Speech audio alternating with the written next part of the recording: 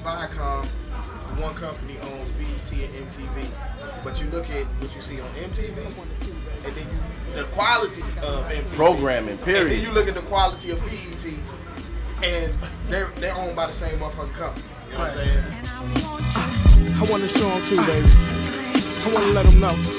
Uh, yeah, it's plain to see. They can't change me. I'ma be the same nigga till the day I rest. Say I'm best, just a boast. I digress. Get my Willie beaming on, stick out my chest. Relieve stress, cause nowadays I see plenty. My head on the swivel, cause I know it's many. Guys who want try send me bye bye. Cause me speak truth and them, they talk lies. So walk on by when I'm in that zone. If the hat get low, then you know it's on. I ain't got a grip chrome just to show you I'm strong. A lot of niggas go wrong, try and live like songs. I write my songs with ink and wood.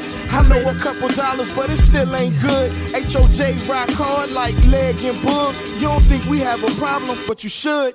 I would.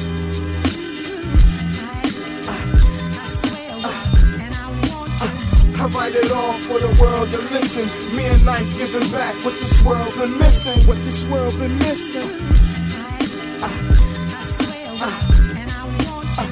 I want you to lean and listen close. When I'm doing what I do, when I be doing the most. I'm in the land of the hills trying to get that guap. I chose another line not to hit that block. Making money legit, put some in stock.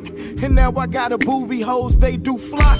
I'm watching knife chopping, I'll shop for hits. Big dough cut checks, booby stick to the script. It's not another out like me. You probably thought you found one, but nope, that's highly unlikely. I write free of the boxing chains that keep niggas box trying to cop that range or some high price things like a Baco bent. Before them niggas know all their money is spent, then they right back at it. They get caught in this vicious cycle where the Joneses is a habit. They gotta have it. I know it's fucked up to say, but niggas became addicts. Niggas became addicts. I write it all for the world to listen. Me and Knife giving back what this world been missing. What this world been missing.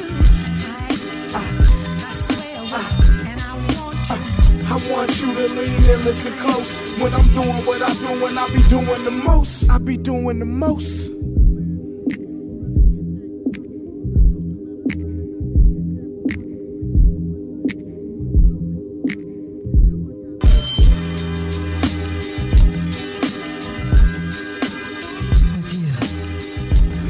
Say the internet killed music when bad music is what killed the music. Because now motherfuckers can get on the internet get your album before it come out and decide if they want to buy that shit or not.